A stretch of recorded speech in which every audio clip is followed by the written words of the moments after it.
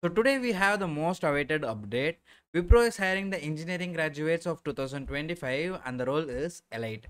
So we'll be looking after the things like what is the eligibility criteria for this role, what is the year of passing, qualifications, branch of studies, and what are the, what is the selection process here, what how many rounds will be conducted here, and all other things.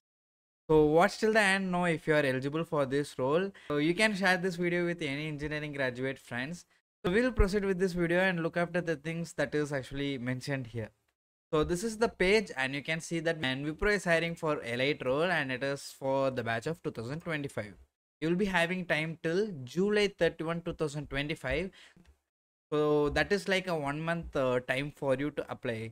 But apply as soon as possible after watching this video and i am insisting you to apply as soon as possible because you will be put into batches for the selection process so if you apply today you'll be put into the earliest batch. You will be getting all the updates about the selection process at the earliest. You'll be attending everything at the earliest and completing all the process before everyone.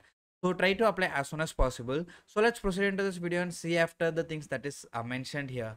So as I said, it is like the deadline is 31st of July 2025 till 11:59 p.m. So the CTC here is 3.5 LPA, and here you can see the eligibility criteria here. In your 10th, 12th, and in graduation, you should have like 60 percentage in all of this. And open school or distance education is only allowed in, in your 10th and 12th. Here is the other criteria candidates should be expected to clear your backlogs within the eighth semester you should complete all your uh, backlogs within the eighth semester like your final semester you should not take it post of those eighth semester and complete it so then you can have like maximum of three years of gap in your education between 10th the start of your degree. So then you should not have any gap in your graduation period.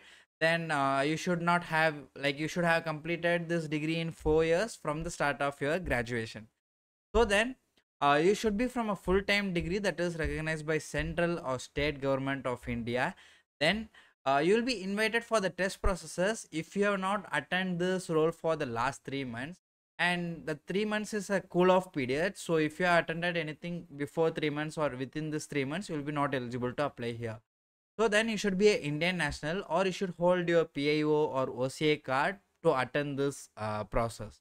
Then you should be 18 plus by registration for this role and you should be from the 2025 batch and the qualifications here is you should be from BE BTech that is a compulsory degree then ME MTech that is a 5 year integrated course. Then the branches here eligible is all the branches of CS or IT and circuital branches. Circuital branches here means that ECE, Triple E are also eligible here. Then the designation that will be provided here is project engineer and the compensation is as I mentioned before it is 3.5 LPA. So here is the service agreement that means bond and it is for 12 months. Then after joining you will be getting a 75,000 as a joining bonus.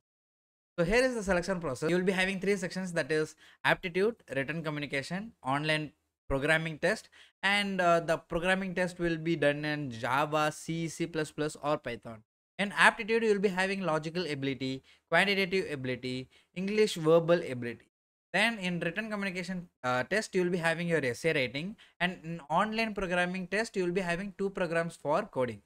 So then the second round is voice assessment and the third round is business discussion. I have explained you all the things. So I'll be providing you this link in the description. Try to apply as soon as possible and also share with your friends who will be getting benefited of this. So also, if you found this video helpful, you need to subscribe, share and like and let us know the feedback in the comment section and also you can ask the doubts in the comments. So I will meet you in the next video. Until then, take care and bye.